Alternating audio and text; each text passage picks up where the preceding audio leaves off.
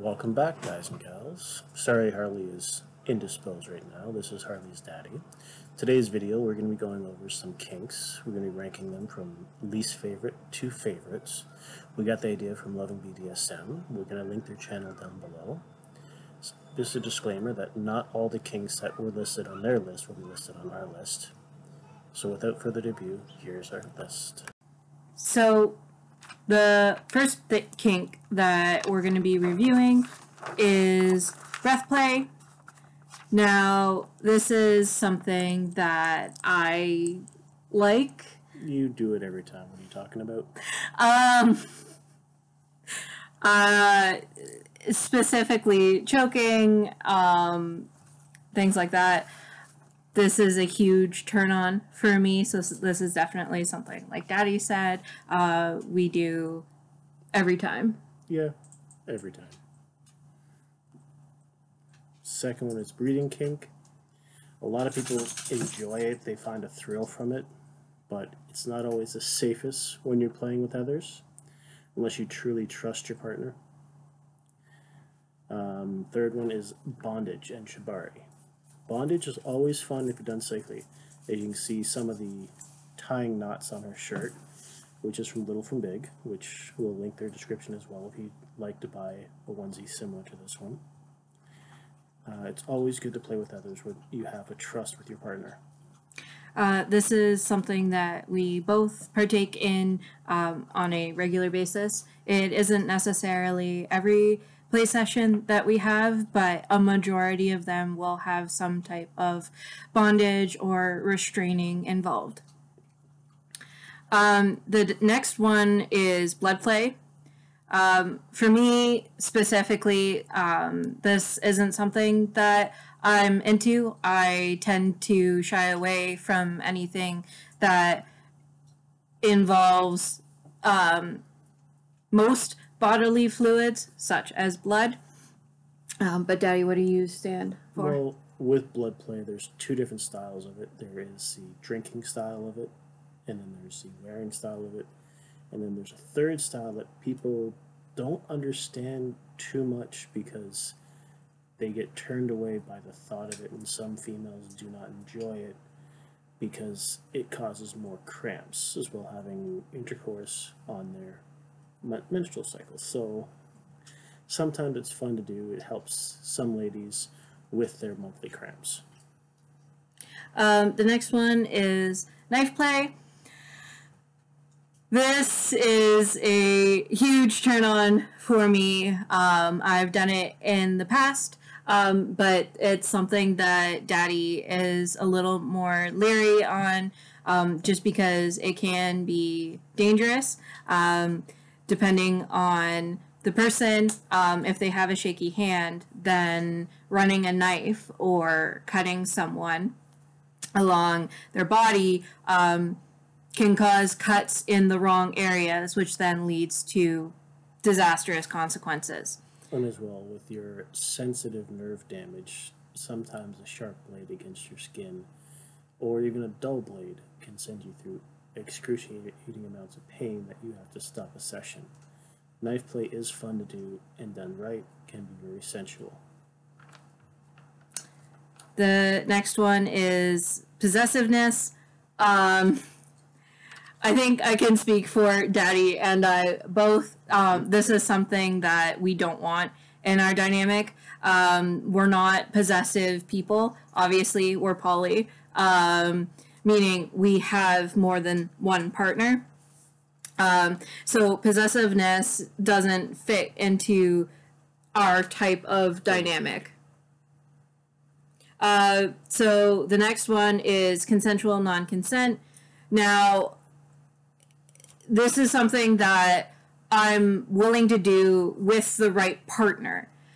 Um, it's something that I need to be able to have an extreme amount of trust with the person that I'm playing with. And it is something that I most of the time won't engage in. Yeah, it's only it's the selected times that she would. Um, She agrees with it to a degree. She enjoys it through some of her punishments, but not all the time. The next one, of course, as you can tell, is something that she highly enjoys and highly loves is caregiver in little dynamic. As you can see, she is a little, wearing a onesie, and she calls me daddy. So, this is a high yes on our categories. And the next one is chastity. Now, I've done this with a few of my previous submissives. They do enjoy a good chastity device locked up to be under control and being a key holder.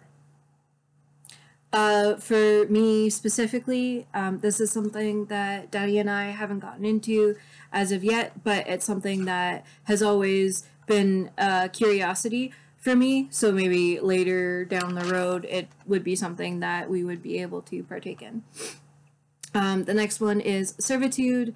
Um, this, I like doing it. Um, I like giving service to another person. Um, with Daddy and I, yes, there are points where servitude is a thing in our dynamic, but for the most part, it's something that we don't always do. Um, the next one is gags. So for me, this could be like ball gags or bits, like um, um, bar gags.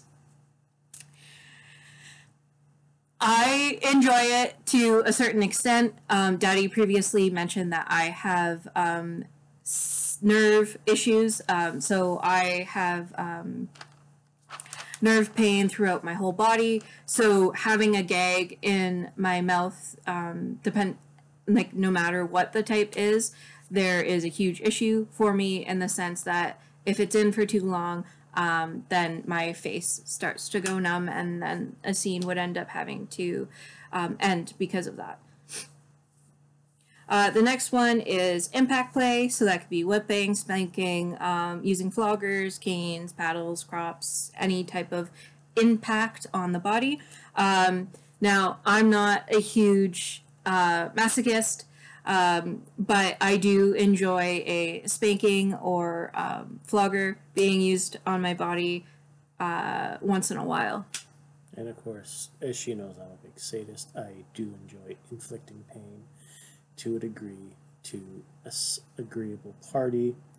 So, impact play is always a high one on our list for any session. So, yeah. And the next one would be humiliation play public, private, and degradation.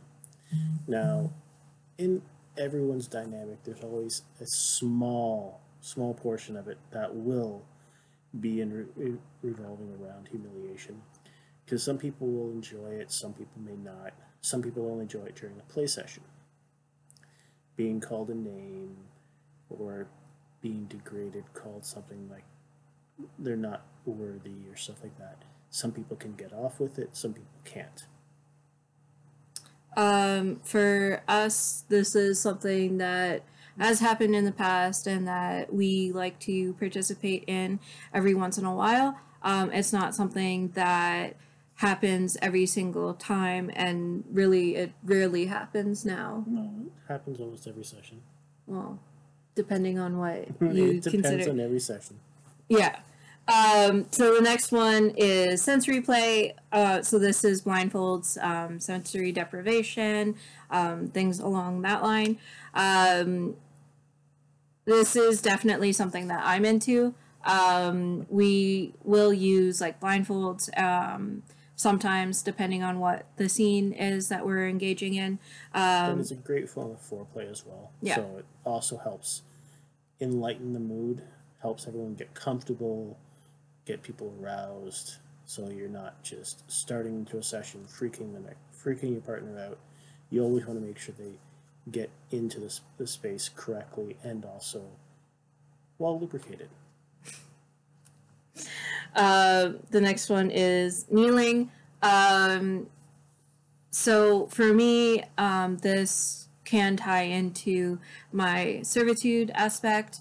Um, I, because of um, my nerve issues, I can't stand kneeling for long periods of time. Um, so this is something this is something that doesn't necessarily happen all the time, um, but it is something that happens once in a while and that we like doing. Next one is discipline. As you heard before, with the bondage and sensory play and impact play, we enjoy a good discipline session, but with the right discipline session, you must, and I will not repeat this enough, is you must have the correct aftercare after a discipline session. If you don't, then you will make your submissive go into a sub drop, which is one of the worst feelings that a submissive could ever go through. Um, so the next one is uh, slave master mistress dynamic. Um, we originally started as uh, master and slave. Um, so it is something that we are both both interested in. I have been in uh, master slave type dynamics before, and I thoroughly enjoyed myself. Um, what about you, Daddy? Well, being in this community for a while now, I've been through many different roles, and I enjoy um, a good master slave situation because there is so much you can do with a submissive and also what you can do with a slave. With the slave aspect, it brings in the CNC concept. The CNC concept is what's highly connected with a slave's position. A submissive can be CNC but not a slave, it's a little bit more confusing, but in the aspects of fairness, it's something that everyone does enjoy once in a while. Um, so the next one is pet play. Um, this is something that I have engaged in in the past, and I like participating in it every once in a while. Um, but it's just not something that really is in our dynamic. Yeah, well, she does like to be called Kitten every so often, hence the name Harley Kitten. She does have a set of tails and ears that she will wear once in a while, but the tail she finds a little bit painful because she's not used to it just yet. The next one is being a brat. Um, I'm a huge brat. Yes, poke, she poke. is. And she Um, learns the hard way that being a brat can get more discipline out of it and punishments. so I have always been a brat and always will be a brat. So this is something that will be in our dynamic, but there is always a fine line, and I know not to cross that line. Now, the next one would be cuckqueaning and cuckolding. Now, being in the community for quite a while now, uh, I've done both. It's actually, I've been bull for the cuckolding, and this one over here likes to cuckqueen. So it is something that we both have done in the past. It's very unique, and it also ties in with a couple other kinks of being voyeurs and exhibitionists. Another one which ties into being the caregiver and little dynamic, which would be da- a dominant daddy and little girl, or dominant daddy, little boy, or dominant mummy, little girl, dominant mummy, little boy. As you can see, being a little and dominant daddy, we enjoy this very much. Um, the next one is collars and wearing a leash. Um, so I have a collar. Um, I wear it as often as possible. I don't necessarily wear it all the time. You gotta correct yourself on that one. That's a day collar. Well, it's not yeah. a play collar. It's a day collar. Uh, my plate collars will only call, come on when we have a scene.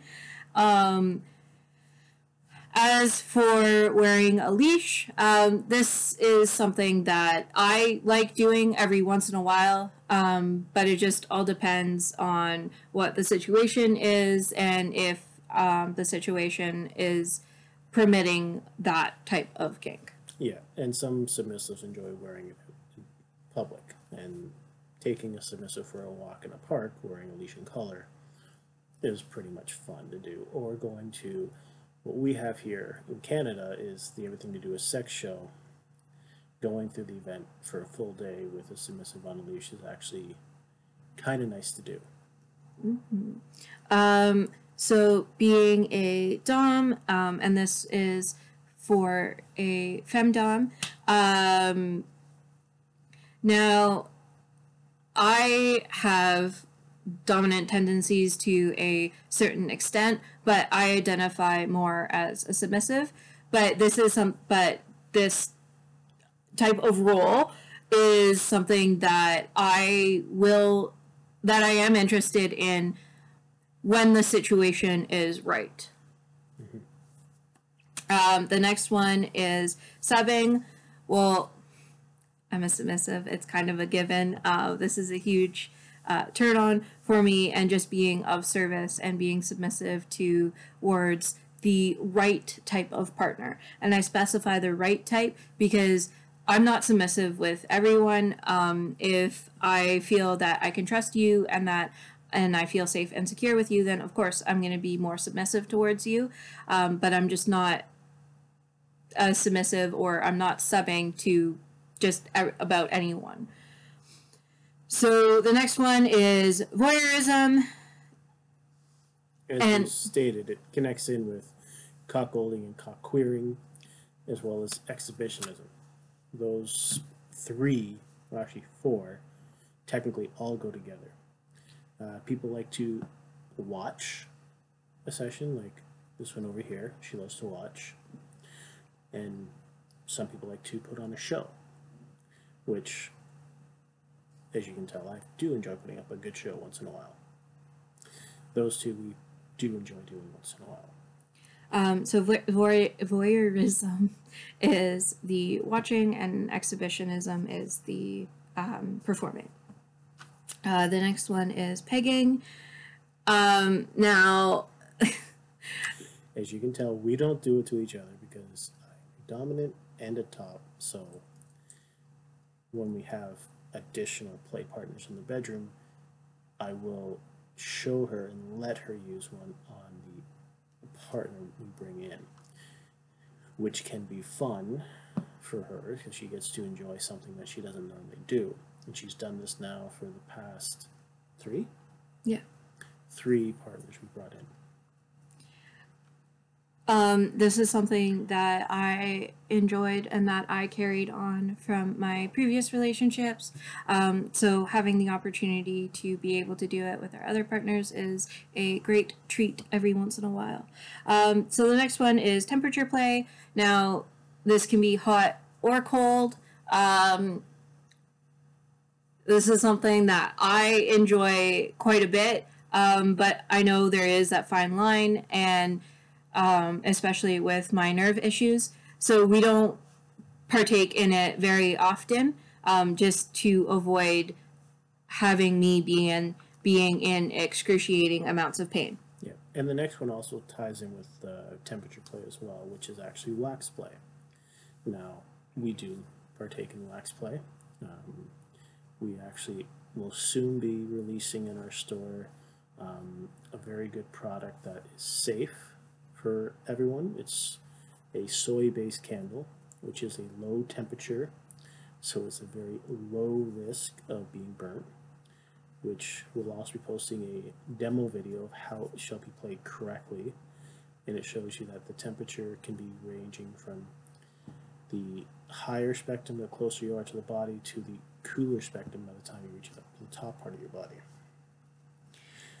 And the next one, which is we've already spoke about this one before with a few other ones, is the threesome and group category. We do tend to have a good few, three, few threesomes once in a while. Um, we haven't tried a foursome just yet because haven't found the right couple to play with. Yeah. But it is fun to play with once in a while. Um, and just an addition to that is um, while we both enjoy it and we do have other partners, um, that doesn't necessarily mean that we're always having threesomes. Um, a lot of our partners actually um, that we've had in the past have been separated. Um, so Daddy will have another partner, and then I will have another partner, which is separate from the one that Yeah. he has. Um, the next one is marks and bruises. Um, just because of my um, personal situation, this isn't something that we engage in too often. Um, just because I can't have a lot of marks or bruises showing. But every once in a while, um, it does happen, and it's because I've let it happen, and it's something that we both enjoy. Yeah. Now with me, I don't take marks on my body due to the fact I have a professional life that I have to present myself in a professional manner. So I enjoy giving marks, and she does have a few still on her arm for biting, for learning the hard way. Um, the next one is um, overt displays of DS in public. Um, for me specifically, this isn't something that I'm into um, for the sole reason that the public cannot consent to what they are seeing. Um, I will wear like my day collar out in public, but it looks like a regular necklace. So if someone were to question it, it's more of like, oh, that's a really nice necklace. Where did you get it? Instead of the whole collar with the O ring or D ring. Yeah. So now, with that part being said, it's like we will partake in a little bit while we are at the Everything to a Sex show Or other kink events. or any kink events. There is a couple good uh, houses here that have adult play to it, which we will also send a link in the description if you are ever in Toronto and you want to find them. Uh, it is the Oasis Aqualounge and M4. They are closed now during pandemic, but they will soon be opening up once everything gets reopened. then the next one is one of her favorite yet least favorite things nipple clamps or clothespins. This is also related to being a masochist and a sadist and enjoying pain. Now, the nipples are very sensitive for some people and can bring overstimulation and overjoy. So, we enjoy using nipple clamps and clothespins for the fact of stimulation. And it's also a sensory tool, too. The next one is overstimulation, um, orgasm denial and control, um, and other types of like play dealing with um, sensations.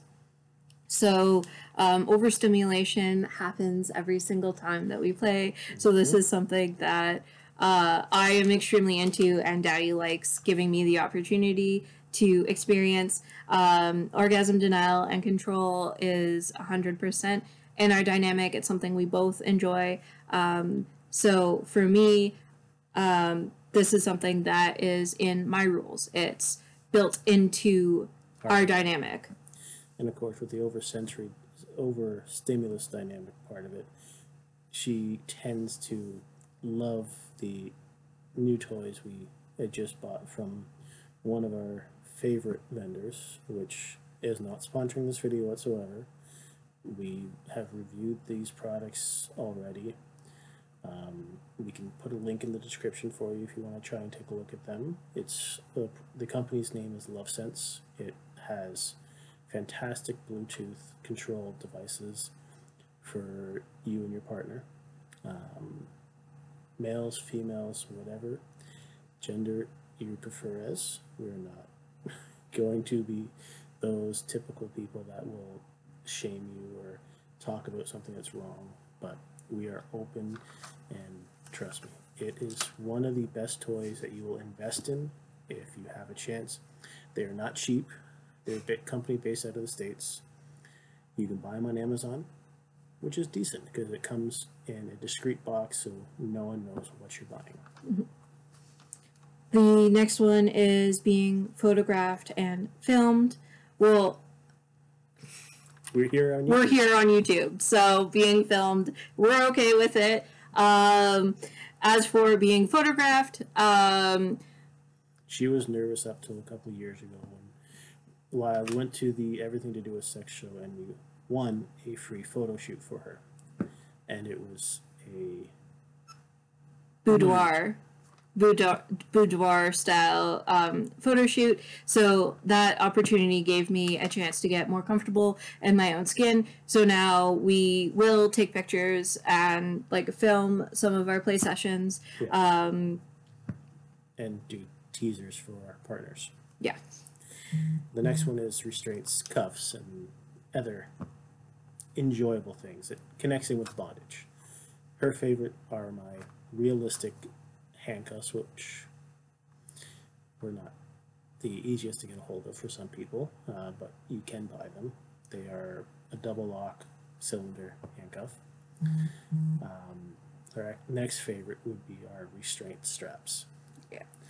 Which, ironically enough, you don't find in many sex shops because they are not regular restraints.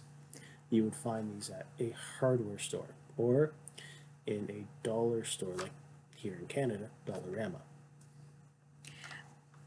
um, and I will be doing a video specifically about pervertibles, which is things that you can find in stores outside of like a regular sex store um, that you can use in your play. Um, so the next one is butt plugs. Now, I'm not huge into anal um, or anal play, um, so this isn't something that I will do very often or something that is like a must in our dynamic. Right, because also this also leads back to what I said about her tail. My tail has a butt plug attached to it, so um, I tend not to wear it for that reason. Um, the next one is biting.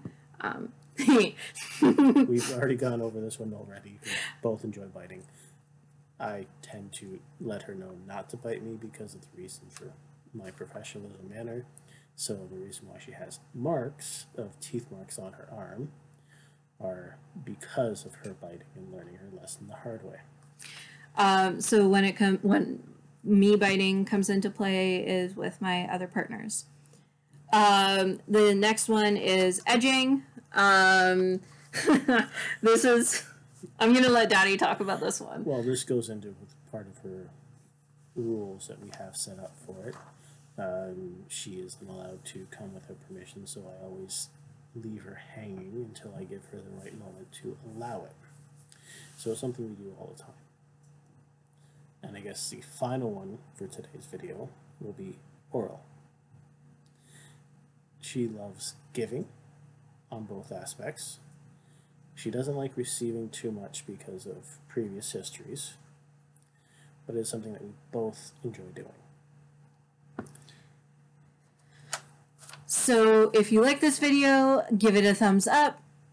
And while you're Don't there, give us a thumbs down. We won't mind. We're, we're not picky. We just want to make sure that this is an educational video for whoever's out there so they can understand the community. And of course, keep your eye out, hit the bell icon. You'll get notifications for the next post. And of always, stay true to your kink, and we'll see you next week.